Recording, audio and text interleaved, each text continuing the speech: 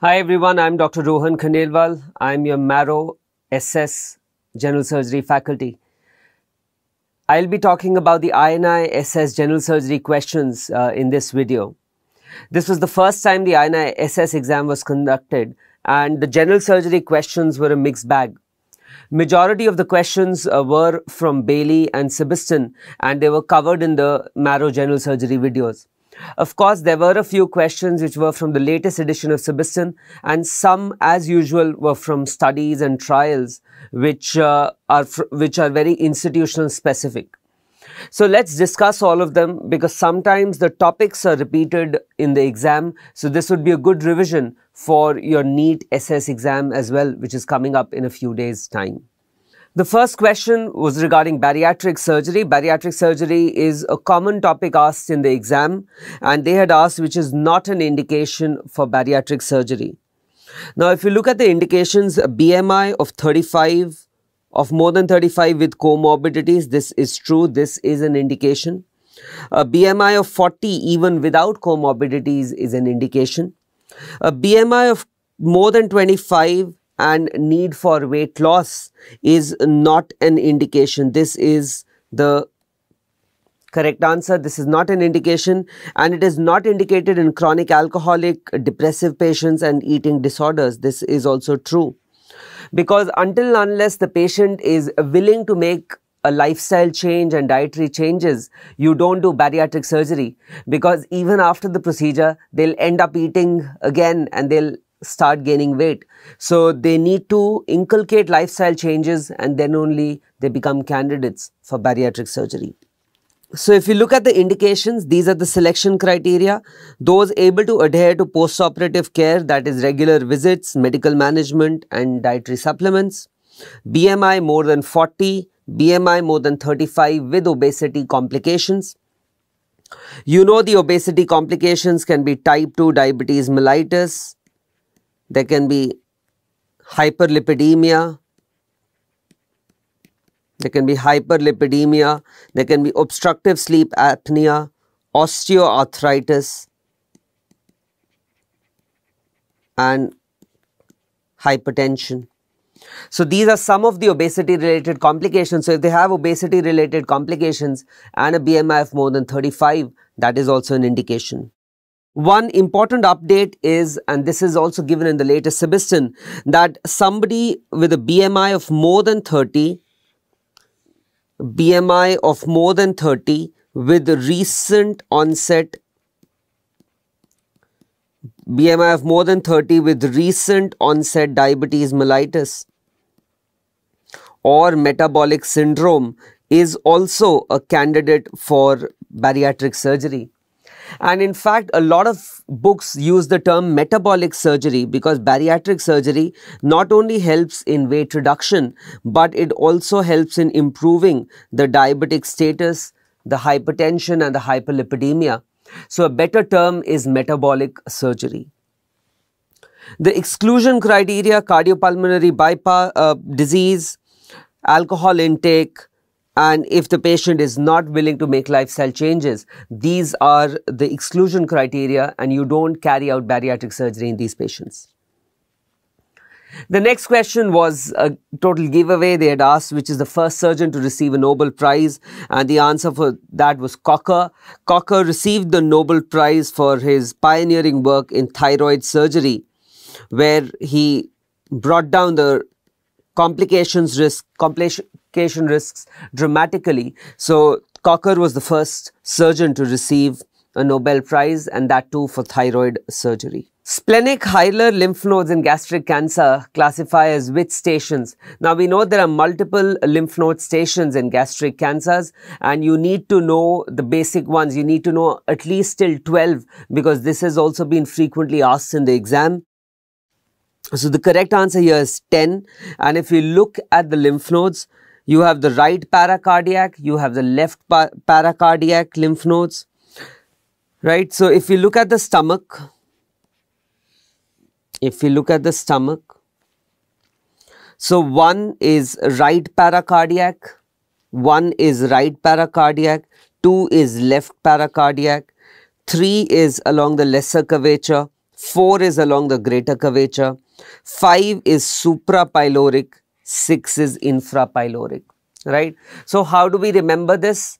The odd numbers, you can see odd numbers for the first 6 lymph nodes, odd are on the right, even are on the left. Odd are on the right, even are on the left. So that gives you a rough idea when you are marking the answer. 7 is along the vessels. Now, after 6, you have lymph nodes along the vessels. 7 is along the left gastric artery. 8 is common hepatic artery. 9 is celiac artery. 10 is the splenic hilum. 10 is splenic hilum. This is what was asked. 11 is proximal splenic artery. 12 again important is divided into 12A, B and P. A is along the hepatic artery, B is bile duct, and P is portal vein. So the hilar structure A is along artery, B is along bile duct and P is along portal vein. So these are the lymph node stations which you should remember for the exam.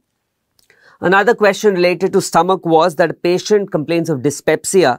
He undergoes an upper GI endoscopy and on biopsy, malt, maltoma is there, low grade.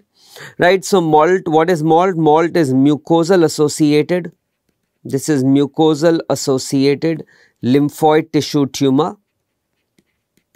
Mucosal associated lymphoid tissue tumor. And the most common site for this is the stomach. Most common site for this is the stomach. And this is associated with H. pylori. So that you should know it is associated with H. pylori infection. Now, this is a low grade maltoma and the unique thing about this tumor, a low grade maltoma is that low grade maltomas respond very well to H. pylori eradication therapy, right? And you know in H. pylori eradication therapy, you have antibiotics. Almost 65 to 70% low grade maltomas will show resolution just with H. pylori eradication therapy but at the same time so of course the answer here is antibiotics or H. pylori eradication. But if it is a high grade maltoma then you have to treat it like you have to treat it like a lymphoma. And you have to do proper chemotherapy. You have to do proper chemotherapy if it's a high grade maltoma Another question from GI surgery was regarding small bowel obstruction and they had asked that gallstones with small bowel obstruction, what is the diagnostic feature? Again, this was a very routine basic question. Now we know whenever there is bowel obstruction, the initial investigation which we do, the initial investigation which we will do is an X-ray abdomen right, is an X-ray abdomen. And on X-ray abdomen in gallstone ileus, that means when a gallstone is responsible for bowel obstruction, you will land up with Rigler's triad. There will be Rigler's triad. And Rigler's triad, one of the features of Rigler's triad is pneumobilia. Is pneumobilia.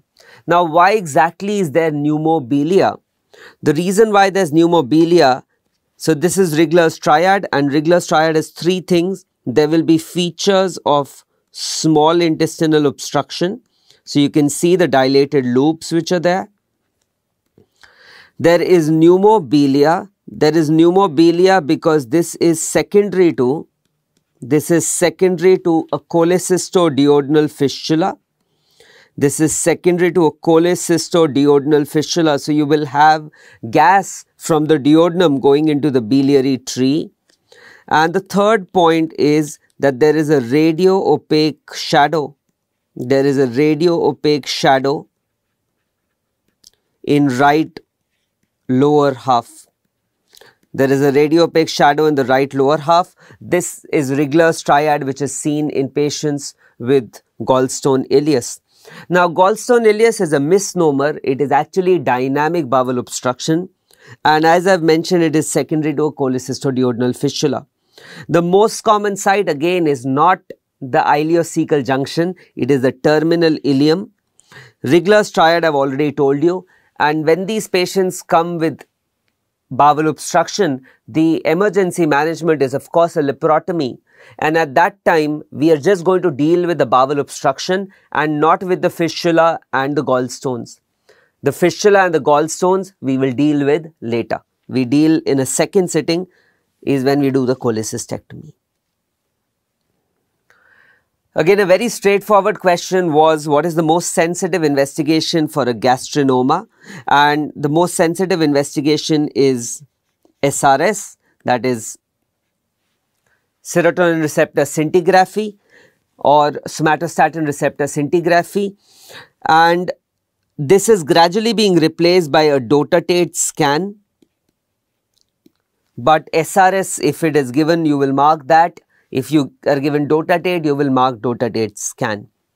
Now for gastrinomas, another thing which you should know about is the gastrinoma triangle. The gastrinoma triangle or the Passaro's triangle has also been asked in the exam many times. This is the gastrinoma triangle or the Passaro's triangle and 90% gastrinomas lie in this triangle. 90% lie in this triangle. This triangle is formed by the junction of by, formed by the junction of the cystic duct with the common bile duct, cystic duct with common bile duct, head and neck of pancreas with the body of pancreas and second part of duodenum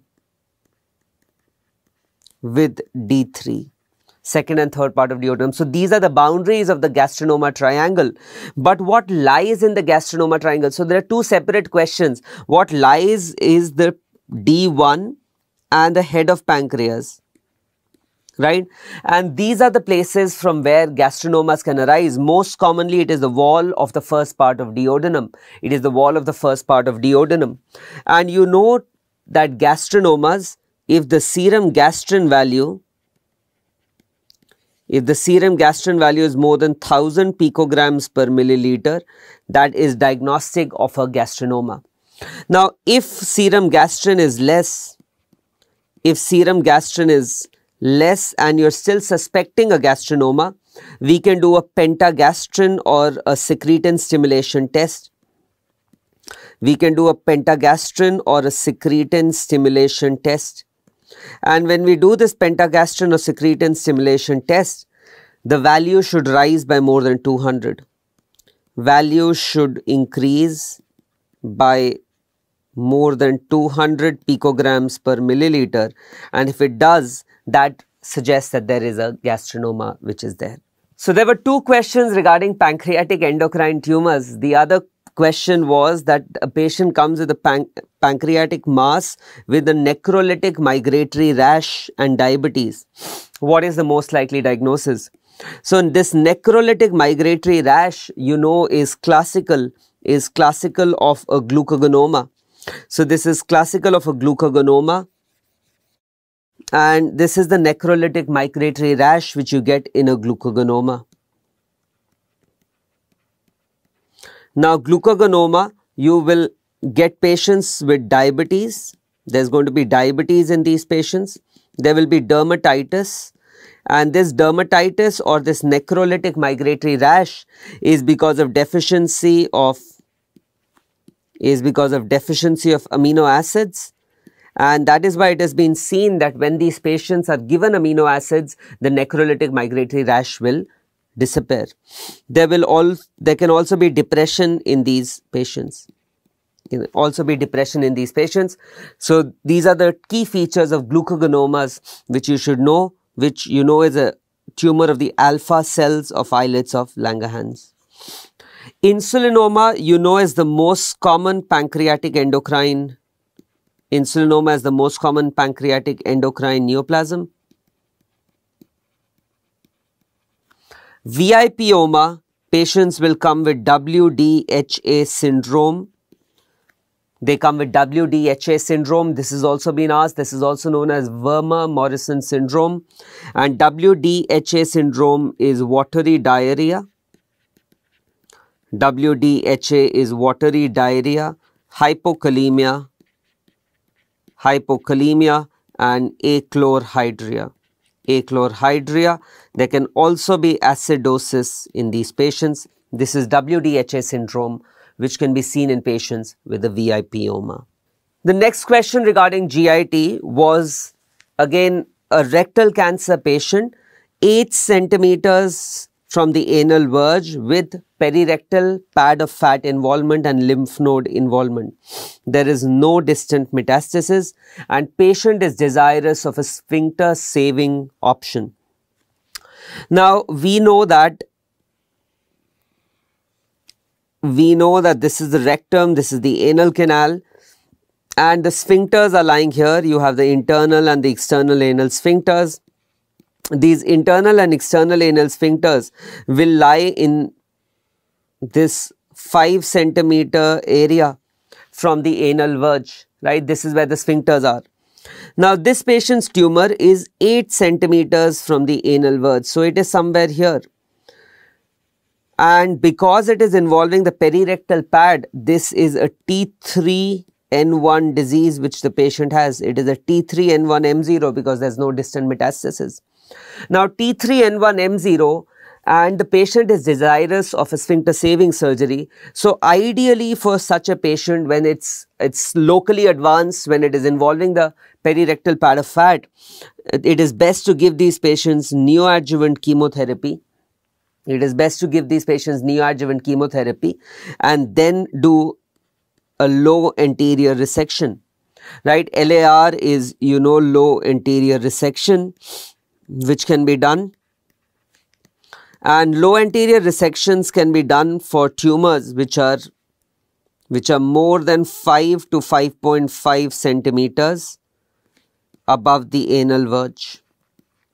So, which are more than 5 to 5.5 centimeters above the anal verge, you can do a low anterior resection. Those which are between 4 and a half to 5 centimeters, you can do an ultra low, you can do an ultra low AR, ultra low anterior resection in these patients. But those which are less than four and a half to five centimeters, those patients will land up with an abdominoperineal resection. So here the answer, the correct answer would be neoadjuvant chemotherapy with low anterior resection.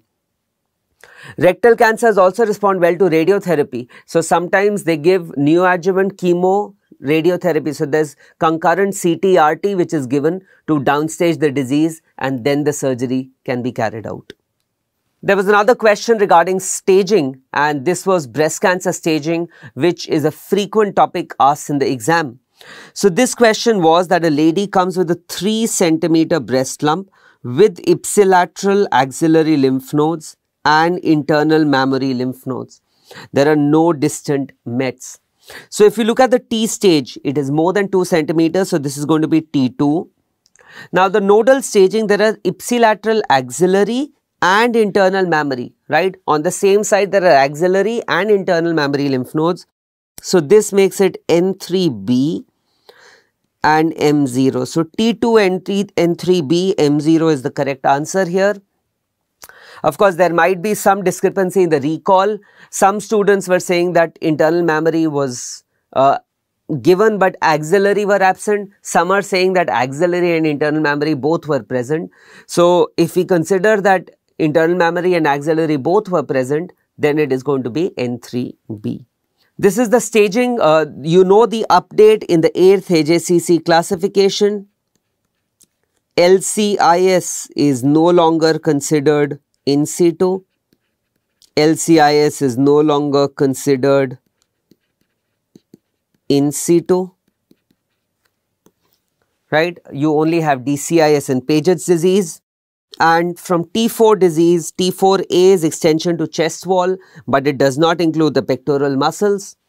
T4B is either edema, that is PDO, or satellite nodules, or ulceration.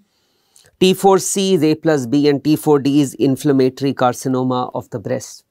Another thing which has been asked for inflammatory carcinoma also is that more than one third of the breast skin should be involved with peau d'orange. So if more than one third of the breast skin is involved with peau d'orange, then it classifies as T4D. There are certain new definitions for tumor deposits in the lymph nodes and you should be aware of them. They can be asked in future exams as well. They've definitely been asked in the surgical oncology part. Isolated tumor cells are defined as clusters which are less than equal to 0.2 mm or it's a cluster of less than 200 cells. Micrometastasis is a deposit of more than 0.2 mm and less than 2 mm. Macrometastasis is any deposit which is more than 2 millimeters. So these are some terminologies which you should know for the exam. There was one question from thyroid swellings, which invariably is there. So there will be questions from breast and thyroid invariably in the general surgery component. So you have a 40 year old female with a thyroid nodule, which is 9 millimeters in size. What is the next step in the management? So here the answer is only reassurance and follow up. And this is based on the TI-RADS level. Now, you know about BI-RADS. BI-RADS, you know, is BI-RADS is breast imaging reporting and data systems, breast imaging reporting and data systems, right?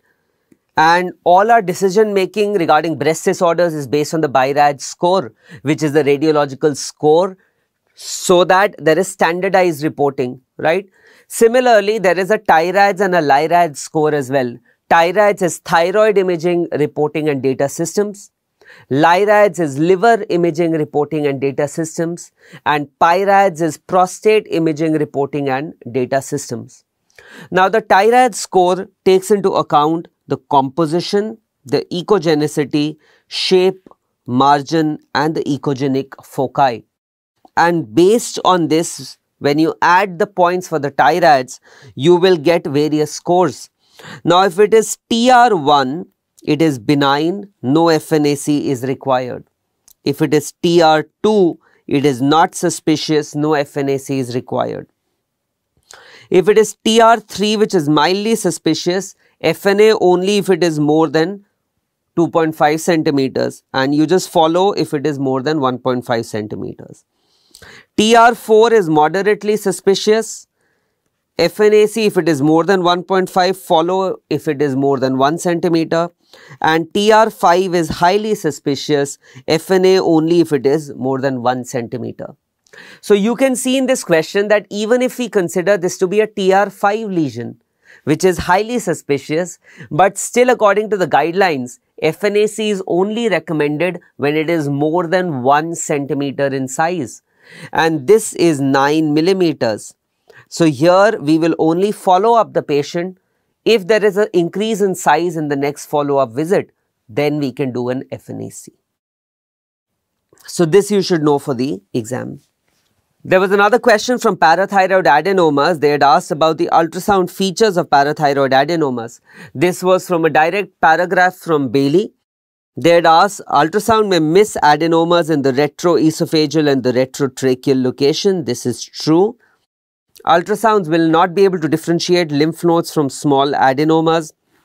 This is also true and so many times it happens that even while operating you can miss small adenomas which is why which is why when we are removing adenomas we take into account the Miami criteria and the Miami criteria is also very important. Miami criteria is we measure the intraoperative PTH and 10 to 15 minutes after gland removal, after removal we measure the PTH. If there is more than 50% drop in PTH, if there's a more than 50% drop in PTH, then we know we've removed the right gland or the we've removed the adenoma. If the PTH level does not drop by more than 50% in 10 to 15 minutes, then probably we've not removed the right gland. They are hyperechoic in nature. This is false. They are hypoechoic in nature. And giant adenomas are those which are more than 3 centimeters. This is also true. So they are hypoechoic. I've told you. Here you can see that they are hypoechoic. Giant adenomas are more than 3 centimeters. And I've already told you ultrasound may miss adenomas located in the retroesophageal, retrosternal and retrotracheal locations.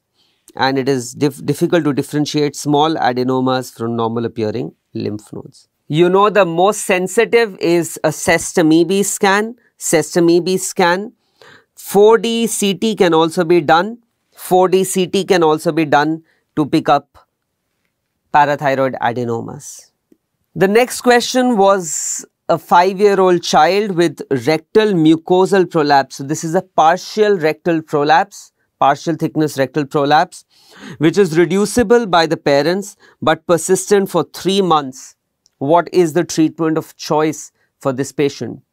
Now we know that if these patients, children can have partial or mucosal rectal prolapse and when the first episode is there, when the first episode is there, we should do digital reposition. We should do digital reposition. But if it is recurrent, if it is occurring again and again, then the treatment is sclerotherapy or we can do Thiersch wiring. Then we can do sclerotherapy or Thiersch wiring. So the correct answer here is injection sclerotherapy. Now, if we look at rectal prolapse, it can be partial prolapse, which is seen in children. First episode is digital reposition. Recurrent, we do Thiersch wiring or sclerotherapy. If it is complete rectal prolapse, that means all layers are involved, then you have to operate these patients. And there are two approaches. You have the perineal approach and you have the abdominal approach. The perineal approaches are easier to perform but have a high recurrence rate whereas the abdominal approach is more technically challenging, but the complication rates are also more higher, but least recurrence rate is there. Least recurrence rate is there with abdominal procedures. The abdominal procedures are uh, Wells and Ripstein's rectopexy, where a mesh is placed. And the most common complication when we are doing a rectopexy is constipation, right? Because if the mesh is too tightly placed around the rectum, that can give rise to constipation. Thiersch wiring, Delorme's repair and Altemeier's repair are all perineal procedures which you should know about. The next question was a very straightforward question. The most common surgical emergency in a pregnancy, in pregnancy, patient came with abdominal pain and vomiting in the second trimester and there was no nausea or vomiting in the first trimester. So you know that the most common Non-obstetric abdominal emergency during pregnancy is appendicitis. The classical abdominal symptoms of right iliac fossa pain and McBurney's point tenderness might be missing. And why are they missing? Because as the uterus increases in size, the appendix can be pushed upwards and the pain might be felt a bit higher up. So this is the most common obstetric abdominal emergency during pregnancy. The typical clinical features might not be present. Initial investigation is always ultrasound in these patients, but the best investigation is MRI. So, of course, CT has radiation exposure risk. So, the best investigation during pregnancy would be MRI. And the management of these patients would be appendicectomy because you know that there is higher chances of perforation. There are higher perforation chances and if a perforation occurs, that can be associated with a very high rate of fetal loss in pregnancy. So the next question was pertaining to postoperative fever. In fact, there were two questions pertaining to that. And this has in general been a very important topic uh, when it comes to the general surgery part, causes of postoperative fever. So this was a patient post low anterior resection and the patient develops fever and breathlessness on postoperative day 3. On X-ray, there are bilateral lung infiltrates which are seen. You can see that there are bilateral lung infiltrates and a picture like this where there's fever, raised TLC and bilateral lung infiltrates are classically suggestive of acute respiratory distress syndrome. Pulmonary embolism would typically occur when the patient, uh, you know, has been bedridden for a long time, starts walking and develops breathlessness. That can be a telltale sign of pulmonary embolism. Atelectasis usually develops early on day 1, day 2. Fluid overload will not present with such bilateral infiltrates. There can be some amount of pulmonary edema which can be there, but not it will not be infiltrates uh, like this. So these are the causes of postoperative fever which are there. Atelectasis, I told you, occurs on day 1 and you can manage it with chest physiotherapy. Day 2, day 3 would be UTI or thrombophlebitis. So either urinary tract infection or thrombophlebitis. Day 4, day 5, you can have deep venous thrombosis which can be there or surgical site infection. The definition of surgical site infection has been asked many times. Surgical site infection is any wound infection which occurs within 30 days of surgery, within 30 days of surgery when no prosthesis or implant or mesh has been used or if a mesh has been used or an implant has been used then it is till one year after surgery.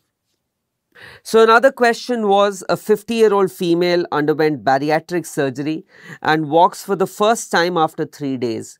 She develops breathlessness soon after taking a trip to the bathroom. What is the most likely diagnosis? So this I told you is typical of pulmonary embolism where the patient has where the patient was bedridden for a long time and has started walking after that and this is a, a telltale sign of pulmonary embolism. And to prevent this, we use pneumatic anti-DVT stockings. These are mechanical prophylaxis. You have mechanical prophylaxis and we have pharmacological prophylaxis and there is pharmacological prophylaxis as well. You know pharmacological prophylaxis is better and pharmacological prophylaxis is in the form of low molecular weight heparin. And that is why before any patient is operated, you have to stratify patients according to the you have to stratify patients according to the risk of developing DVT and you give them prophylaxis accordingly. One more criteria which was recently asked in the exam is the Wells criteria so, in any patient where we are suspecting DVT, we follow the Wells criteria. This gives us the risk of DVT, the risk of DVT in a patient. And if the Wells score is more than 2, if the Wells score is more than 2, then it is highly suggestive that the patient has deep venous thrombosis. Peritoneal breach percentage in TEP. Now, you know TEP is total extraperitoneal repair is total extraperitoneal repair. That means we usually don't breach the peritoneum. If the peritoneum is breached and then you re-enter the preperitoneal space, that is known as TAP. TAP is transabdominal. TAP is transabdominal preperitoneal repair. Is transabdominal preperitoneal repair. So if there is a peritoneal breach which is happening in TEP, they are asking what is the percentage when we are doing TEP. Now we know TEP is a technically more demanding procedure than TAP. And initially in the early learning curve there can be peritoneal breach. And it is to the tune of more than 20 percent. That is what has been written in literature and uh, large studies. So more than 20 percent is the rate. We know in TEP we remain totally extraperitoneal whereas in TAP we breach the peritoneum and then we come into the pre-peritoneal space. The next question is that you have a post-trauma patient with complaints of abdominal pain. Systolic BP on admission was 80, but it improved to 120 on administering fluids. Heart rate is 120 and chest x-ray shows a widened mediastinum with loss of aortic knob with no hemothorax or rib fracture. Right. So, first of all, the patient did come with hypotension, but it responded well to fluids right? So when it when you when the patient responds to a fluid challenge, we will consider it as stable vitals, right? The BP has increased, there is tachycardia, and there is widening of the mediastinum with loss of aortic knob. These are classical features which suggest that there has been an aortic dissection.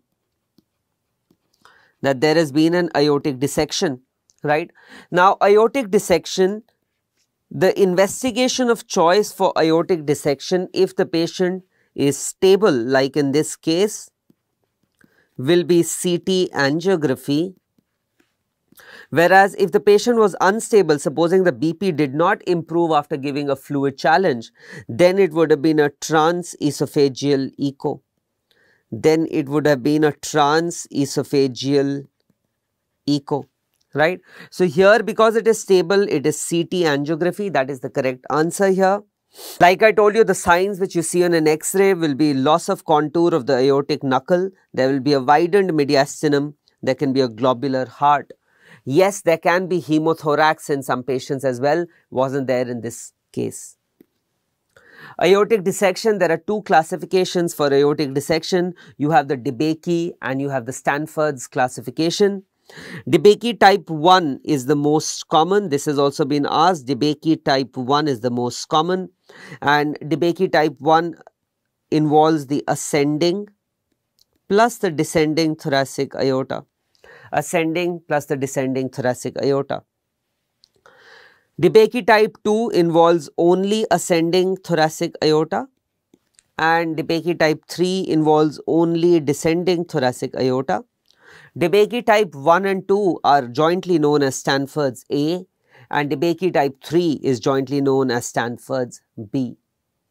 Now, you know that when these patients come with aortic dissection, there is a role of permissive hypotension. This has also been asked in the exam. There is a role of permissive hypotension, right? Because it is said that it is hypertension which triggers the tear in the aortic wall. So, hypertension is going to trigger the tear and then the BP is going to drop. Now, if I suddenly raise the BP, this tear will increase. So, permissive hypotension is when we want the BP to be at the lower limit of normal.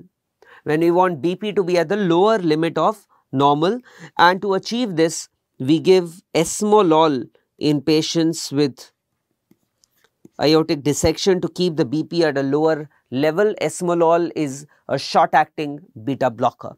This has also been asked, you should know about this. A 55 year old breast cancer patient who is ERPR positive is to start anastrozole. Anastrozole you know is hormonal therapy. Anastrozole is a type of aromatase inhibitor. They are asking which investigation should be done prior to starting this treatment. Now, this is a routine scenario in my OPD when I treat breast cancer patients. When we have to start them on hormonal therapy, if they are post-menopausal, if they are post-menopausal, then we'll start these patients on aromatase inhibitors like anastrozole or letrozole. And aromatase inhibitors, the side effect is that they reduce the bone mineral density. They reduce the bone density. That is the main side effect here that they reduce the bone density. That is why before we start the patient on aromatase inhibitors, we will also always do a DEXA scan for three sites to see if there is reduced bone density to start off with or not right? And if there is reduced density then we supplement calcium vitamin d3 supplements. And in severe cases we might even give bisphosphonates. We might even give bisphosphonates, which is why it is important to do a DEXA scan before starting aromatase inhibitors. If it's a premenopausal patient, if it's a premenopausal patient, these patients are started on tamoxifen, which is a selective estrogen receptor modulator, which is a selective estrogen receptor modulator. And the most common side effect of tamoxifen the most common side effect of tamoxifen is hot flushes, right? It is not endometrial hyperplasia. Yes, it can cause endometrial hyperplasia, but the most common side effect is hot flushes. A 38 year old lady came with bilateral mastalgia. Which of the following drugs is considered to have a placebo effect from various systematic reviews? So, a lot of work has been done in AIIMS Delhi. Uh, Dr. Anurag Srivastav has published a lot of papers on mastalgia. And in those papers, he had clearly highlighted that evening primrose oil was having a placebo effect in most of the cases, right? Tamoxifen is used in resistant cases of fibrocystic disease. We use short course of tamoxifen Danazol was also used, is being used as well, but has more side effects than tamoxifen, which is why tamoxifen is preferred. And local diclofenac gel also has a role in patients with mastalgia. But evening primrose oil just has placebo effect. This is a very common scenario uh, which is asked in the exam. Of course, previously they had asked about bowel injury due to a trocar or Veress needle. Here the situation is that there is a major vessel which has been punctured by the Veress needle. So, you are doing, you are putting in the Veress needle and you puncture a major vessel. What is the next step in the management? Now, you know, we've discussed in trauma as well that whenever there is a penetrating injury, supposing a patient comes with a knife to the abdomen, you never take out that knife in the emergency room. You always take it out in the theater itself. And why are we not pulling at pulling out that knife blindly? Because it can have a tamponading effect on the vessel.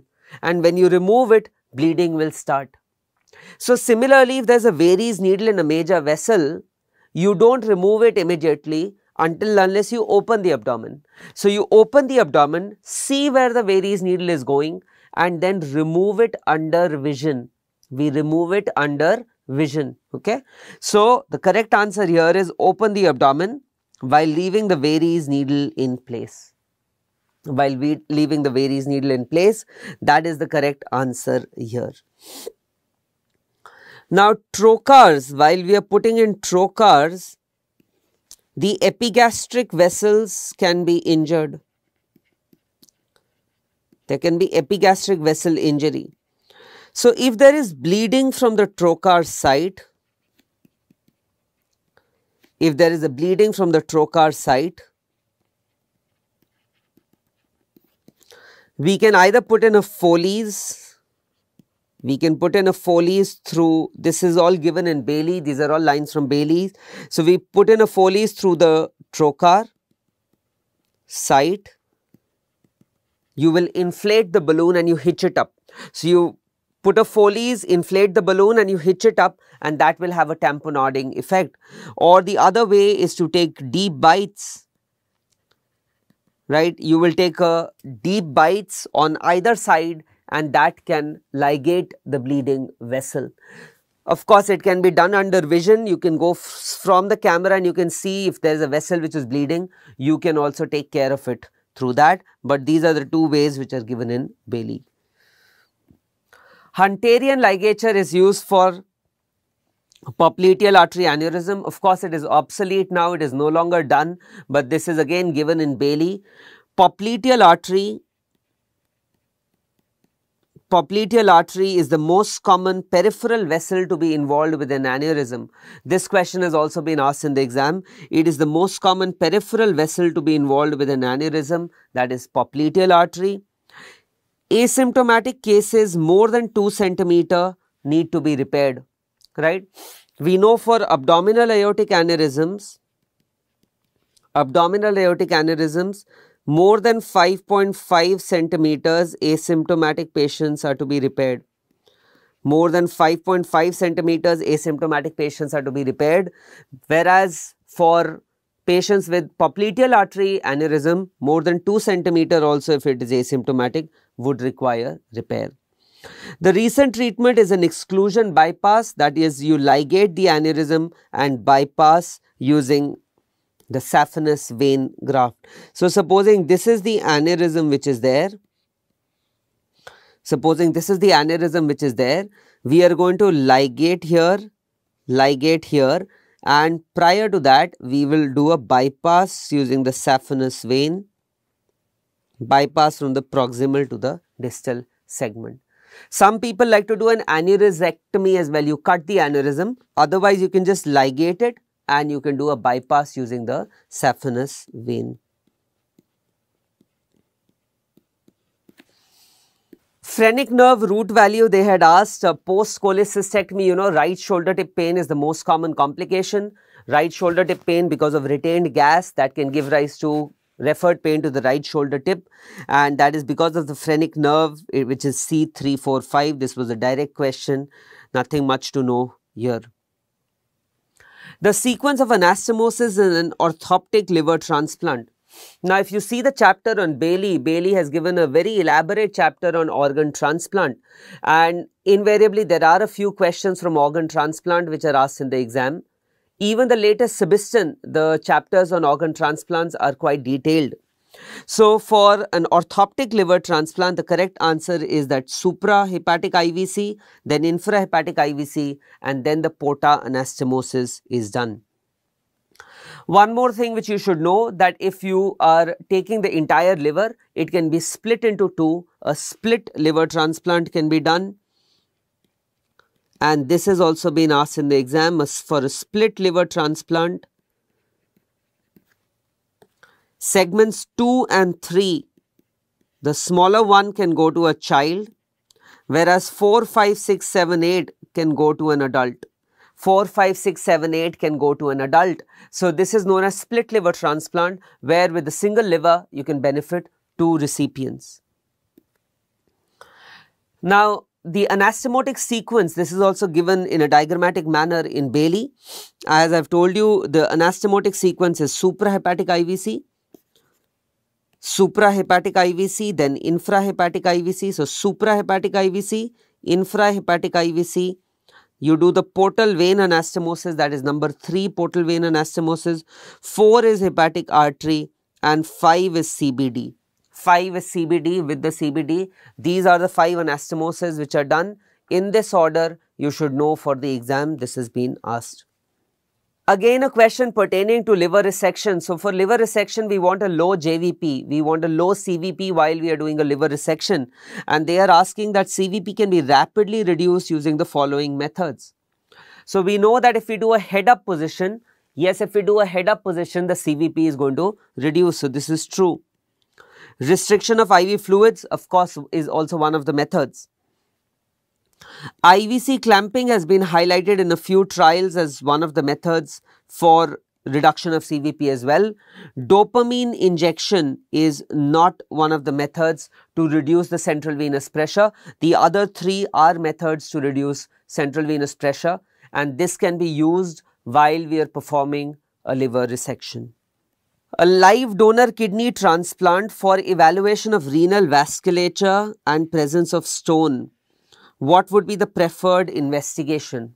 So, there is a patient who has to donate his kidney and this patient has a renal stone as well, right, has a stone as well. So, to assess the vasculature and to assess the stone, the best investigation will be a helical CT without and with contrast. Why without? We know that non-contrast CT scan is the investigation of choice for renal stones. It is the investigation of choice for renal stones. So, to evaluate the renal stone, a non-contrast scan followed by contrast which would help in evaluating the vasculature. A patient with a renal stone, it is a partial contraindication, not that they cannot donate, they can be donors as well. It's a partial contraindication. If there are cystine stones, then we need to be more careful otherwise it's a partial contraindication and to assess we can do a non-contrast CT and then with contrast we can assess the vasculature. A male patient presents with numbness and tingling in the hands since a few months. X-ray is shown below. What is the diagnosis? So, uh, this was a case of thoracic outlet obstruction, thoracic outlet syndrome, and you could see a cervical rib here. There was a cervical rib which could be seen on the x-ray. So the correct answer was a cervical rib, cervical rib giving rise to thoracic outlet obstruction or thoracic outlet syndrome. And this thoracic outlet syndrome, there can be vascular claudication or there can be neurogenic claudication. There can be vascular claudication or neurogenic claudication. The neurogenic claudication, the numbness and tingling is mainly along the ulnar nerve distribution is mainly along the ulnar nerve distribution that is the area where neurogenic claudication will occur and there will be numbness and tingling. The vascular claudication, there are certain provocative tests which will tell us if vascular claudication is there or not. Some of these tests have been asked in the exam. You have the Adson's test, Adson's test is when the affected arm is abducted at 30 degrees from the shoulder while maximally extended, while extending the neck and turning towards the ipsilateral shoulder, right. So, 30 degrees and you turn on the same side, right. So, this is the Adson's test you can see here 30 degree you elevate, you turn on the same side and you will see that the pulsation is reducing, right. There will be decrease in pulsation when the patient takes a deep breath, deep breath, there will be decrease in pulsation the elevated arm stress test, e EAST test or the Roos test is when the patient is placed in the surrender position with shoulders abducted to 90 degrees and the patient slowly opens and closes his hands. Right, so Roos is both the hands and you open and close and this will precipitate the symptoms of claudication, both vascular and neurogenic, both vascular and neurogenic. You have the upper limb tension or the elevate test as well. Mainly Roos and Adson's have been asked in the exam. This is the Wright's test as well where only a single arm and you feel for the pulsation. Of course, treatment for a cervical rib would be excision of the rib. Also, there can be venous thrombosis. Venous thrombosis or axillary venous thrombosis can give rise to Paget-Schroetter's disease, right? So, in these patients, vascular you can have venous thrombo venous thrombus as well. And this would be axillary vein thrombosis and this is known as Paget-Schroetter's disease. Now this Paget-Schroetter's disease can also develop in patients who are repeatedly using the arm like weightlifters or javelin throwers. This can even occur in them axillary vein thrombosis is known as Paget-Schroetter's disease. So the next question was a very uh, tricky question. Uh, it is not given in surgery books. They had asked the definition of XDR TB. XDR is extremely drug resistant TB.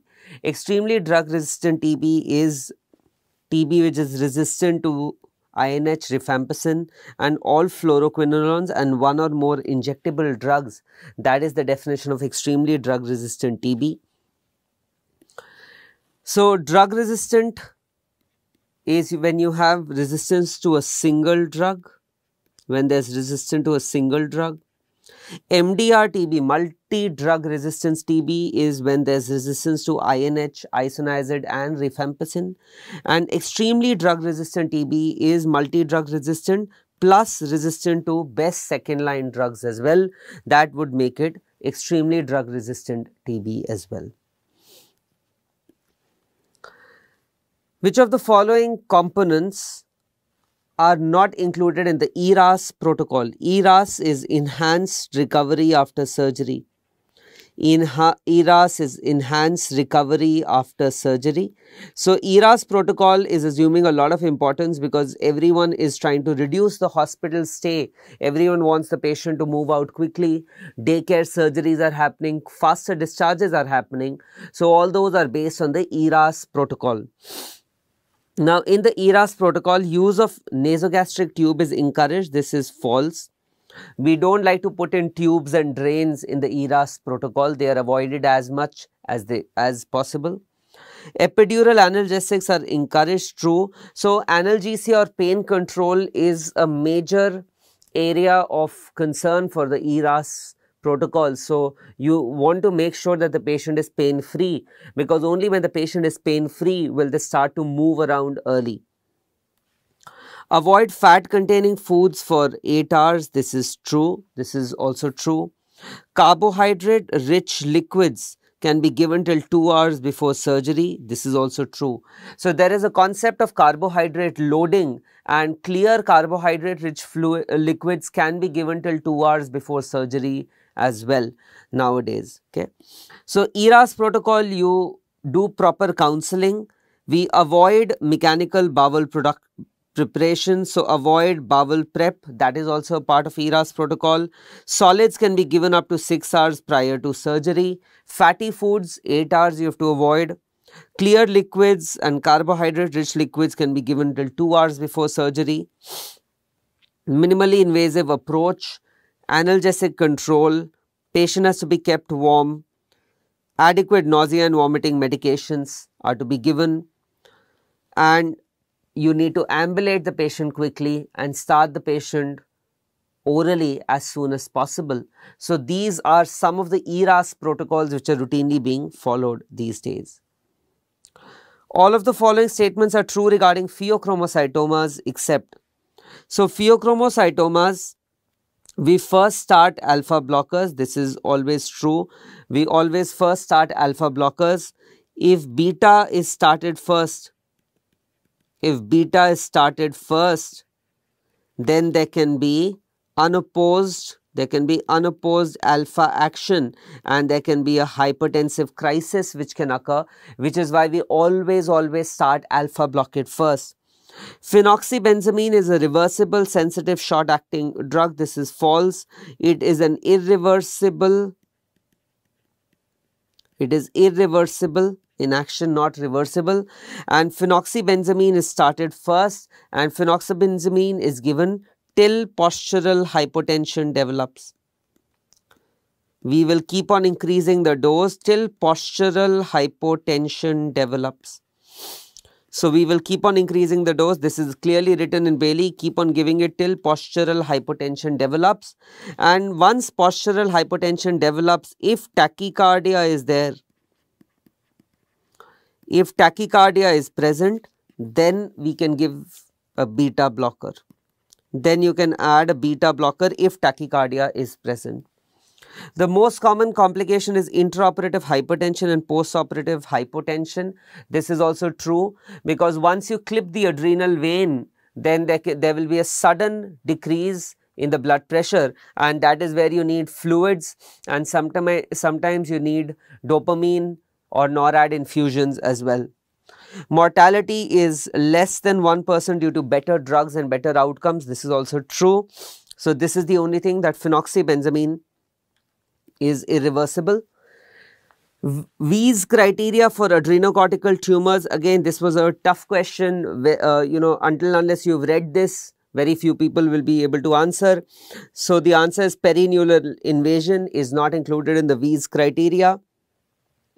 This is the Weiss criteria for adrenocortical tumors, which includes the nuclear grade, the number of mitotic figures, atypical mitosis, clear cell component, diffuse architecture, venous invasion, sinusoidal invasion, and capsular infiltration. Right. So, if three or more of the following criteria are there, then it indicates malignancy. So, out of these Weiss criteria, if you have more than three positive, then it indicates an adrenocortical carcinoma or malignancy, right. So, you, these are the Weiss criteria. You don't again need to remember the details, just which all factors are included. The staging for adrenocortical cancers is known as the Macfarlane staging. This is also given in Bailey, Macfarlane staging. Stage 1 is when the tumor is less than 5 centimeters. Stage 2 is when it's more than 5 centimeters. Stage 3 are locally invasive tumors. And stage 4 is tumor with distant metastasis. Again, a question regarding transplant, they had asked which immunosuppressants have similar mechanism of action. You know immunosuppressants are given after transplants and the correct answer here is tacrolimus and cyclosporin. Both of them are tacrolimus and cyclosporin both are calcineurin inhibitors both are calcineurin inhibitors which in turn reduce the production of interleukin 2 so both are calcineurin inhibitors which in turn reduce the production of interleukin 2. Sirolimus inhibits T lymphocyte activation. Sirolimus in, in, inhibits T lymphocyte activation. Mycophenolate mofetil, MMF, mycophenolate mofetil inhibits inosine 5 monophosphate dehydrogenase. This inhibits inosine 5 monophosphate dehydrogenase.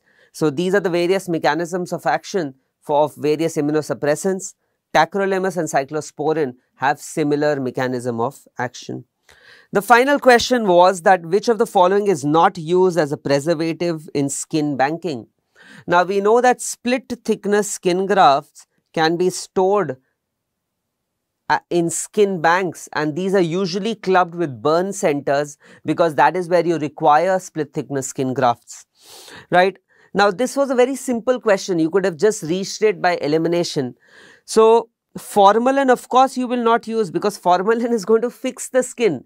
And you can't put that skin back on a patient right? Formalin is what we use when we have to preserve specimens. It cannot be used to preserve skin which can again then be put back on another patient right? So formalin obviously could have been eliminated easily.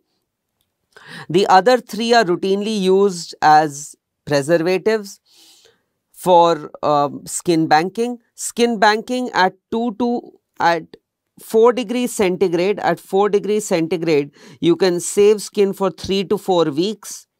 You can keep skin for 3 to 4 weeks at 4 degree centigrade.